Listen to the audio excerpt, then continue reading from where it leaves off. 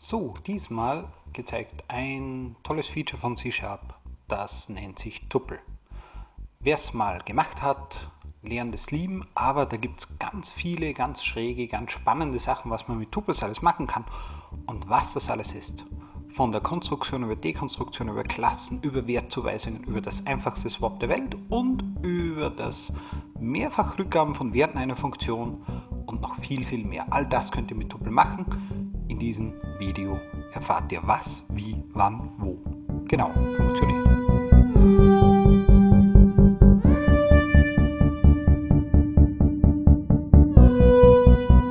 Das einfachste Element mit Tupels, das man sich so vorstellen kann, ist folgendes. Wie definieren wir eigentlich ein Tupel?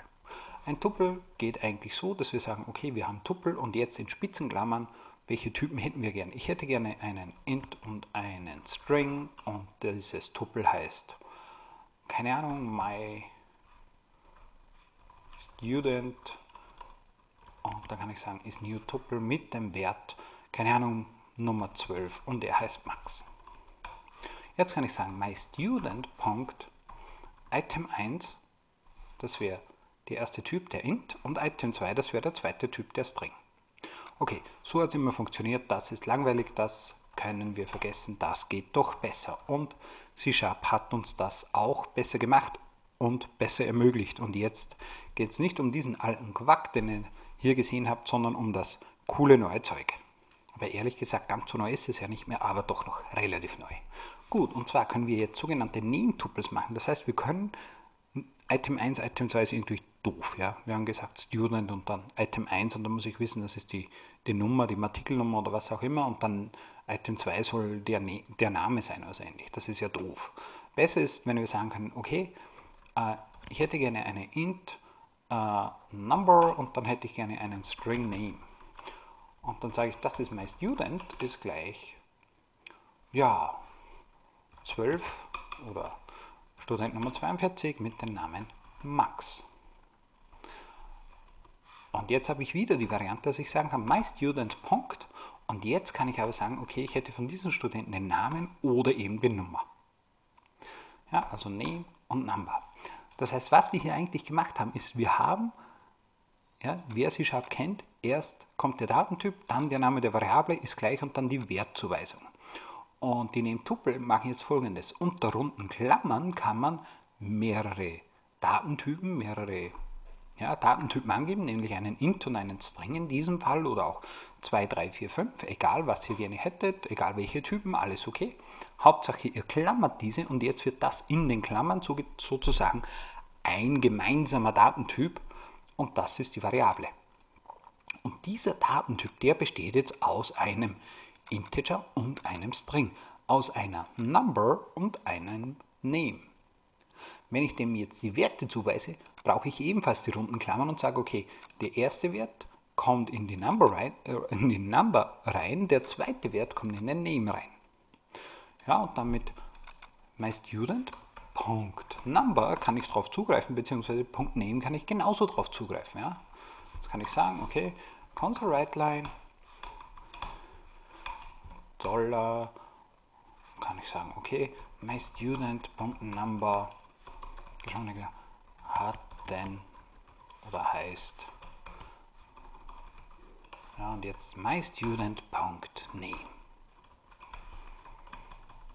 Das heißt, was ich jetzt eigentlich machen kann, ist, dass ich mehrere unterschiedliche Datentypen, wenn man so will, zusammenfassen kann. Und das, was wir in den runden Klammern haben, könnt ihr betrachten wie einen normalen primitiven Datentyp. Das heißt, ihr könnt, wenn ihr wollt, von dem ein Array machen. Und dann habt ihr ein Array von Number und Names sozusagen. Jedes Element besteht dann aus so einem Number und einem Name. Okay, und wie gesagt, auch bei der Wertzuweisung beide Sachen angeben. Ja, was bringt das jetzt alles und was bringt das für Vorteile und Konsequenzen? Sehen wir uns jetzt. So, und zwar, was wir hier machen, ist eigentlich folgendes. Dieses Ding wird eigentlich vom Compiler wieder übersetzt in ein entsprechendes Tuple. Das heißt, in äh, diesen da hier, also wieder ein Tuple Doppel von äh, int und string. Ah, das hätten wir wieder so. und er weiß, okay, Number in int und String, das ist der zweite, das wäre der Name und Item 1 wird, kann ich jetzt unter, unter Number und Item 2 unter Name aufrufen. Also der Compiler macht aus diesen schönen wieder das etwas hässlichere, aber wir haben jetzt einen eigenen Datentyp definiert, einen eigenen Datentyp, der aus diesen zwei Werten besteht. So, was können, was können wir mit dem alles anstellen? Anstellen? Also einerseits können wir anstellen folgendes. Wir können eine Funktion basteln, die einen Tuppel zurückgibt. Ja? Wir können zum Beispiel eine Funktion basteln. Ja, ihr wisst ja alle, äh, ich kann eigentlich immer nur einen Wert zurückgeben in einer Funktion und nicht zwei Werte. Ja, das lernt man so grundsätzlicherweise. Und wenn wir jetzt mehrere Werte gleichzeitig zurückgeben wollten, dann müssen wir immer äh, etwas mit Out-Parametern machen. Ja, mit Tupeln können wir jetzt plötzlich zwei Werte zurückgeben. Zum Beispiel, wir können sagen Double Result und Bool äh, Possible können eine Funktion machen, die heißt Divide. Ja, und die bekommt einen äh, Double Dividend und Divisor. Ja. Double Div Dividend äh, Number 1 und Number 2. Ja, keine besonders guten Namen, aber okay. So, darum geht es jetzt nicht. Also, zwei Variablen. Wir wollen die dividieren, aber nur dann, wenn Nummer 2 nicht äh, 0 ist. Ja, denn dann wäre es einfach nicht möglich. Ja. Wir können sagen, okay, if number 2 equals null, also wenn die gleich 0 sind, dann sage ich return und jetzt gebe ich sozusagen diese Funktion als Result zurück.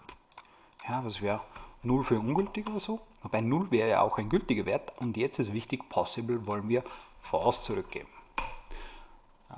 Wir geben sozusagen dieses Ergebnis zurück, einmal einen Double, einmal einen Bool. Ja, wenn das nicht der Fall ist, dass das entsprechend 0 ist, dann geben wir zurück return number 1 durch number 2, ja, wieder in Klammern, ganz wichtig, und wir geben zurück true, dass die Division war möglich und das ist sozusagen der gültige Wert.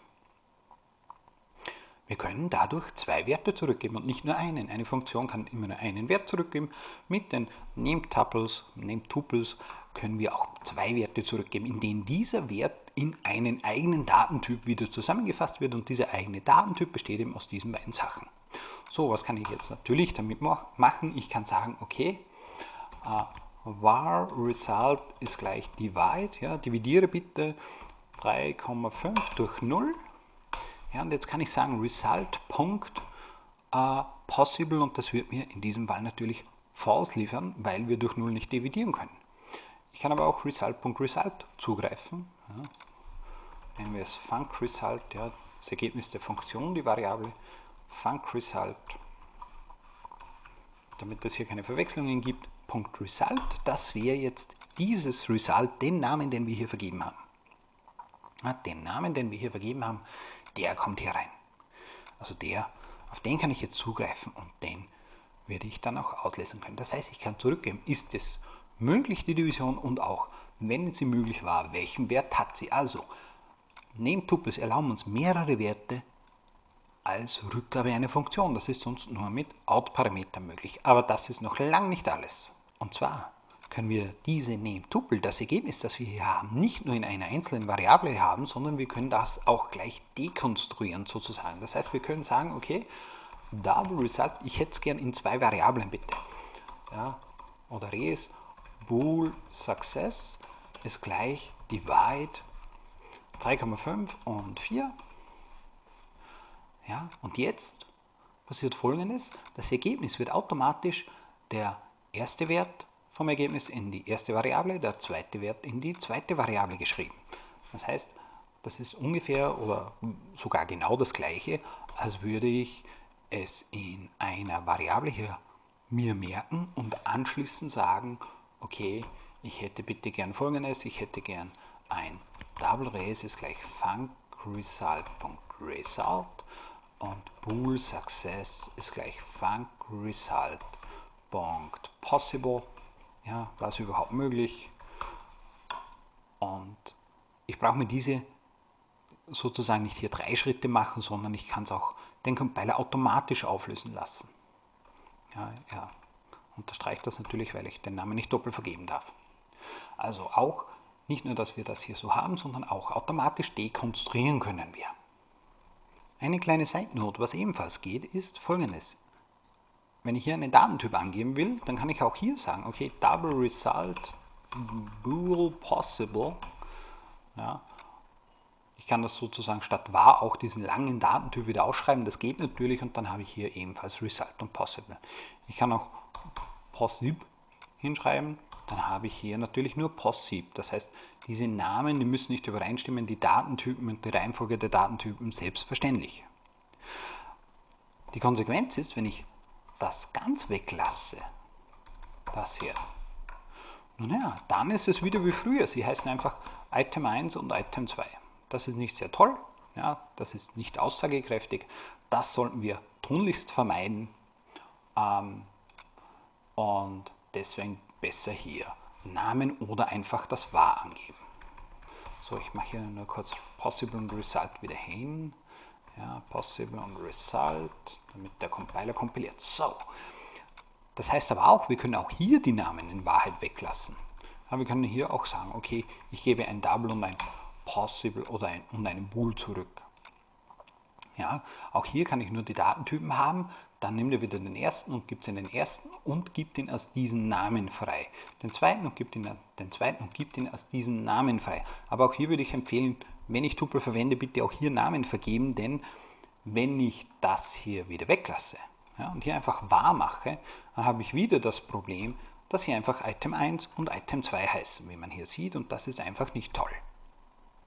Sprechende Namen sind schwierig zu finden, aber die eine Minute überlegen, das ist gut investierte Zeit. Ja. Also nicht so Number 1 und Number 2, das ist einfach keine gute Idee, keine guten Namen. Also wir können die Variablen auf jeden Fall weglassen. Neben Tupel sagen eigentlich immer nur Datentypen in eine Klammer gefasst, auch die Rückgabewerte in eine Klammer gefasst. Die runde Klammer macht einen Datentyp daraus. Und wenn ich Namen vergeben, ist das Namen vergebe, dann ist es gut. Wenn ich keine Namen vergebe, dann ist es immer wieder Item 1 und Item 2. Aber das ist noch nicht alles. Wir können weitere Sachen machen. Und zwar könnten wir, weil wir lustig sind, wie gesagt, auch Erase oder ähnliches anlegen.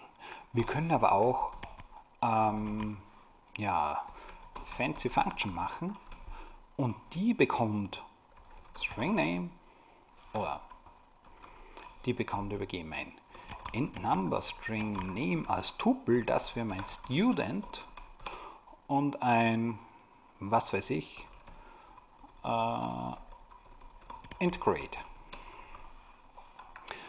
Ja, das wirkt jetzt sehr schräg, ja. Warum wirkt das schräg? Naja, irgendwie ist das wieder geklammert und solche Sachen. Also das ist auch nichts anderes wie ein Tuppel, ja. Das ist der Datentyp, so heißt er. Und der Datentyp besteht aus einem Integer mit Number und einem String mit Name. Fertig. Das ist ein Parameter. Das hier ist der zweite Parameter. Ja, was kann ich mit der, mit der Funktion machen? Ich kann sie nur, Entschuldigung, ich kann sie natürlich aufrufen. Ich kann hier sagen, fancy function mit myStudent würde gehen, weil myStudent dieser Signatur entspricht. Er hat einen Name und also einen int und einen String und dann ein Grade. Ja, das funktioniert. Ich kann aber genauso sagen, okay, fancy function bitte ähm, 3 und Susi und das wäre mein Student und eine 2 wäre die Grade. Ja, auch das geht. Ich kann mir den on the fly zusammenbauen, so wie auch ja, hier eine 2 übergeben kann oder sagen, okay, my student number, wieso auch immer. Ja. Einfach nur einen int, das ist das, was die Funktion erwartet. Also Wirklich, ich kann solche Tupel als ganz normalen Datentyp verwenden. Ganz normal, alles gut. Noch nicht alles. Jetzt kommt was Cooles, jetzt kommt die Swap-Funktion. Einfacher geht's. Kaum oder nicht. So, für das Beispiel der Swap-Funktion, die ihr alle bestimmt schon einmal irgendwo programmiert habt. Denn das ist so das Standardbeispiel, warum wir re verwenden, also das Kosename-Feature, das wir in einem anderen Video bereits hatten, aber das kann auch noch mehr, dieses Ref-Feature. Aber okay, also Swap wird ja normalerweise so implementiert. Ich habe zwei Variablen, ich nehme mal einfach zwei Double-Werte, Double x ist gleich, ähm, oder int x, so, int x ist gleich 21, int y ist gleich 42.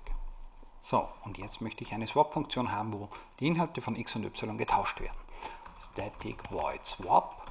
Und hier brauchen wir natürlich int x und int y übergeben. Ja, int y oder die zwei Variablen, die wir halt, wie wir sie benennen wollen, die müssen ja nicht gleich heißen a und b. Und damit der Inhalt in der Funktion getauscht werden kann und auch draußen neu ist, können wir machen ref int a und ref int b. Oder müssen wir machen. So, und normalerweise schaut die Swap-Funktion jetzt so aus. Wie tauschen wir den Inhalt zwei Gläser? Wir brauchen ein drittes Glas. Int temp ist gleich a, a ist gleich b, b ist gleich temp. Das ist so die Standardimplementierung und der Aufruf naheliegend ref x und ref y. So, ein Beispiel, das alle bestimmt kennen. Wie kann man jetzt Swap noch implementieren? Mit Tuples geht hier echt viel cooles Zeug. Also, ich nenne es mal ref 2, äh, swap 2. ref int a, ref int b bleibt natürlich gleich. Nur die Implementierung sieht jetzt sehr viel einfacher aus. Ich kann jetzt sagen, okay, bitte gib mir a und b in ein Tuppel. Und übrigens möchte ich, dass diese folgende Werte haben, und zwar b und a.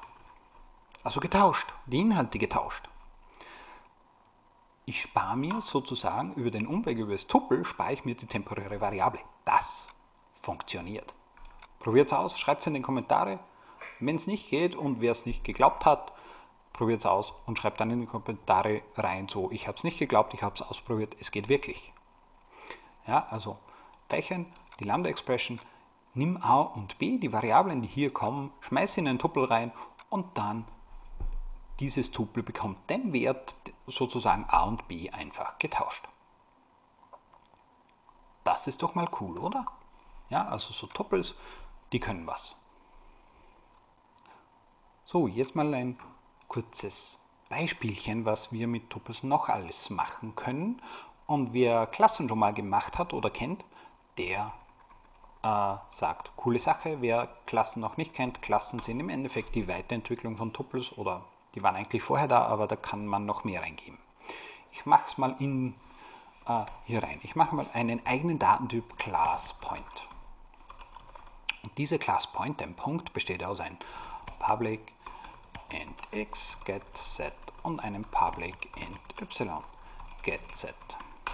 So, was kann dieses Tupel jetzt? Das Tupel kann jetzt sagen, okay, ich brauche einen Konstruktor oder ich möchte gerne einen haben, einen Public Point bekommt ein int x übergeben und ein int y. Und ich kann jetzt zum Beispiel den Konstruktor so implementieren, ja, normalerweise schaut es immer so aus, okay, das Punkt x ist gleich x und das Punkt y ist gleich y. Das dies kann ich natürlich weglassen, ist mir schon klar. So, und je länger die Parameterliste, umso mehr steht hier herin. Immer diese Wertzuweisung. Wir kommen um die Wertzuweisung zwar nicht herum, aber wir können sie ein bisschen kürzer machen. Wir können sagen, okay, x und y, ups, so, wir können sagen, x und y gibst mir bitte in ein Tuppel und das bekommt den Wert von x und y. Also diese zwei in einen Tuppel gepackt, das sind die ersten zwei und die bekommen diesen Wert. Ja, der erste Wert in den ersten, der zweite Wert in den zweiten. Prima. Das ist doch mal kürzer. Das zweite, ähm, was wir machen, ist, wir können hier natürlich hier das Swap machen. Ja, wir wollen diesen sozusagen um ähm, die Diagonale tauschen. Wir wollen x und y vertauschen. Wir können sagen, okay, äh, x und y wird jetzt zu y und x. Wir haben den Punkt gespiegelt um die 45 Grad Achse. Wir wollen wissen, ob zwei Punkte gleich sind. Ja, wir wollen wissen, ob zwei Punkte gleich sind. Dazu machen wir eine Funktion, äh, die liefert bool r equal, ja, bekommt einen Point p2 übergeben und das ist jetzt natürlich so, dass ich sage, okay, äh, ich müsste jetzt auf Null prüfen oder machen wir mal, okay, ähm, if p2 gleich gleich Null, return false. Ähm, ja, und wie vergleichen wir? Wir vergleichen so, dass wir sagen, okay, x muss sein, gleich sein p2.x und y muss gleich sein p2.y. Ja, ist irgendwie logisch, oder? Beides muss gleich sein. Wenn sie gleich sind, ist es okay. Was könnten wir jetzt noch machen? Wie würden wir das mit Tuppel vereinfachen? Gut, so. x, y gleich gleich p2.x p2.y. Was wir uns hier sparen, ist folgendes. Wir sparen uns diese und oder Überlegungen die ganze Zeit. Ja, das ist ein etwas intuitiverer Ansatz, weil er komponentenweise intuitiver, aus meiner Sicht intuitiver vergleicht. Also wieder mal eine tolle Sache, wo sich doch einiges verkürzt und vereinfacht mit dieser Tuplerei. So, und wer jetzt noch kein Fan von Tuples ist, für den habe ich noch etwas. Und zwar, ähm, ich würde gerne folgendes machen. Ich würde gerne hier einen Point haben. Äh, point, my point is new point und dieser mit der Koordinate 2 und 3 zum Beispiel. So, und jetzt muss es diese sozusagen dekonstruieren. Ähm, wo ich sage, okay, ich hätte jetzt, jetzt bitte gerne ein int x ist gleich myPoint.x und ich hätte gerne ein int y ist gleich myPoint.y. Und ja, wer hätte das gedacht? Auch hierfür gibt es eine Möglichkeit, das einfacher zu machen mit Tupels. Und zwar hätte ich gerne bitte int xy, ist gleich myPoint. Ich hätte gerne einfach so eine Zuweisung, wo er mir sozusagen diesen Punkt dekonstruiert auf ein Tuppel. Ja, und natürlich das geht. Ja. Ich mache hier denn eine Funktion public void deconstruct, die muss so heißen. Und jede Out-Variable, die wir jetzt haben, ähm, wird zum Dekonstruieren verwendet. Also wenn ich sage, ich will erst die x-Koordinate raus übergeben, die muss jetzt rauskommen, brauche ich eine out, out int x und ein out int y. Ja, und dann kann ich natürlich wieder sagen, Tuples verwenden, xy ist gleich xy. Die ganzen alten klassischen C-Sharp-Programmierer, ja, die vermissen vielleicht ein paar geschwungene Klammern und ein paar explizite Zuweisungen, aber gebt mir doch recht, das ist kürzer und wenn man es gewohnt ist, das ist wie Link. Ja. Link war zu Beginn für alle schräg mit den Lambda-Expressions und jetzt wünscht sich jeder nichts anderes mehr. Und das ist ein Feature, das so ähnlich ist. Vom Gefühl her. Also, ich nehme x, das ist die Out-Variable, da kommt das x rein und das y kommt dann in die y rein, geht hier raus und wird hier entsprechend dekonstruiert. Die x-Variable hat jetzt die Eigenschaft x, die y-Variable hat die Eigenschaft y und ich kann es einfach mit einem ist gleich zuweisen. Diese Zuweisung führt zu dem Deconstruct. Das ist cool. Wenn ich mehrere Werte habe, habe ich mehrere Out-Parameter. Und was auch cool ist, ja, ich nenne ihn liebevoll den Leck mich am Arsch Operator, Entschuldigung die Ausdrucksweise, sagen wir in mm, ich kümmere mich nicht darum, äh, lass mich einfach und schmeiße in den Papierkorb aus ähnlich. Ähm, und zwar, wenn ich jetzt nur eine Koordinate brauchen würde, kann ich sagen, okay, ich hätte gern int x2 hätte ich gern. Ich hätte gern die x-Koordinate, die y-Koordinate ist mir egal. Underscore ist gleich myPoint. Ja, jeder Underscore in so Tuppelangaben ist so mir egal. Ja, ist etwas netter ausgedrückt. Das ist der mir egal Operator. Ja, hätte ich gern nur den y und der x ist mir egal, kann ich sagen, okay, y, äh, der ist mir egal. Ich hätte bitte gern nur das y ja, y2. Ich hätte bitte gern nur das y. Dadurch reserviert er auch keinen Speicher, gibt es nicht zurück und alles ist toll. So, das war der Ausflug in Tuples. Wenn es euch gefallen hat, vergesst nicht zu abonnieren, ein Like und einen, ähm, die Klingel zu drücken. Wenn euch noch ein Szenario einfällt, wo Tuples noch cool sind und was mit denen noch alles geht, lasst es mich wissen, schreibt es in die Kommentare, ich bin gespannt darauf. Und wenn es euch gefallen hat, lasst ein Abo da.